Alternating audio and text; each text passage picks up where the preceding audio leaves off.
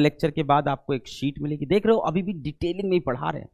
ऊपर ऊपर से नहीं भागे, तभी मैं बोल रहा हूँ, पसीना निकल जाएगा। अगर बहुत सीरियस हो, तभी ज्वाइन करना बैच को।